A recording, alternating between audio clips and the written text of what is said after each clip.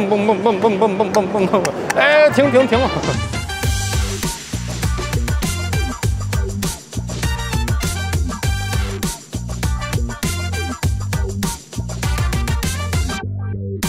What's up everyone, this is Jaeger here, a member of PATH. And as we live in the information age, technologies like artificial intelligence or 5G communications are advancing. And everybody is talking about robots entering our lives. And that's why today I'm visiting the world's top high-tech conference, which is called World Robot Conference 2022 to find out about the latest trends of robots. Let's get started.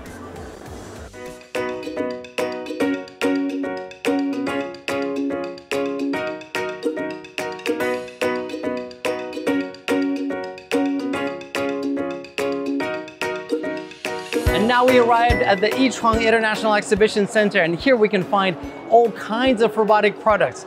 Like back uh, in other years, it were divided into the different um, kinds of robots, but now it's divided according to the industry that robots would be used. For example, we can see like in education or medical care or shipment, etc.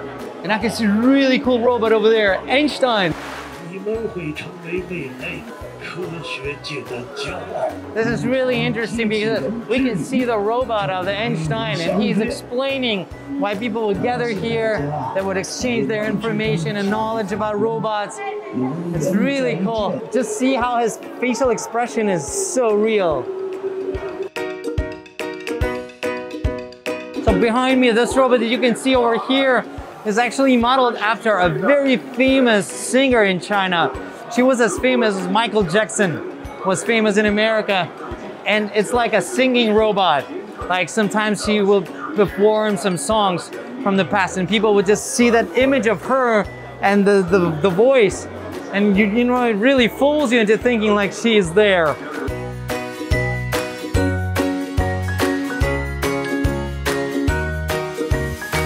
This is another marvel of engineering. You know how we like the, the topic of the Winter Olympics? Here we've got a robot that is able to ski. Like apparently you can see how he's controlling the angle of the skis to, you know, to see where he's going. And this is just amazing. He's using the technology of the, of the lasers and also the technology of the camera to understand the environment so he can go freely.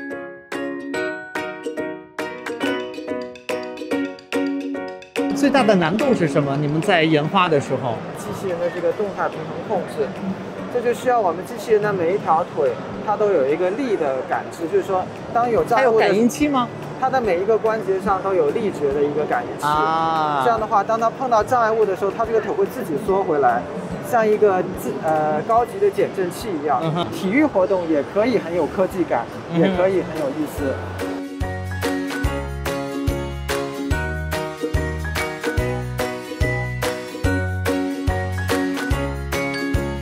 So uh, push this button and the robot. Oh.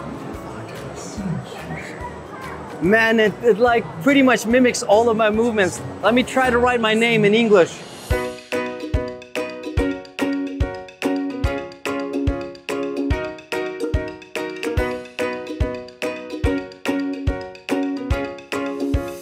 You know, in the movie of Matrix, when they would have like a robotic costume, or like how do you say, like he would go inside of a robot and control the arms. Man, it looks something like that.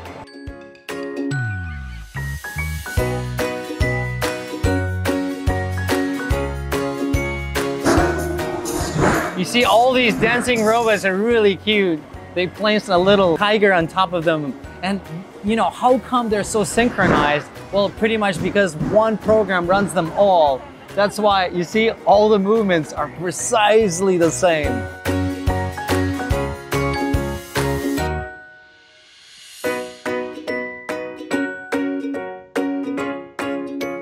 我最喜欢的就是这个机器狗，还有刚才那边那些微创手术机器人。机器人这块发展，我觉得还是非常重要的，所以我对这方面非常感兴趣。来，你呢。我现在看到了一个做咖啡的那个机器人，啊它是有那个呃可以拉花，然后把你的咖啡做的跟那个大咖啡大师做出来一模一样的那种。哇还尝了一杯，味道也很不错。我对印象比较深刻的领域其实是刚才的医疗领域。医疗啊对，因为我还看到了一个呃外骨骼的机器人，其实蛮有意思的。怎么还有一个医疗手术的机器人，它可以非常精准的应用实践到医疗的各个环节当中。呃今天看完这些展会之后，我觉得是改善一些工作安全性的问题。哦，怎么讲啊？就像刚才我们看那些，呃，就是在墙体外面刷漆以及清洁这些墙体的，还有这挖隧道的这些，全都是在保障人们的安全，就是关注到了这些干这些危险工作的这些工人们的这个安全问题。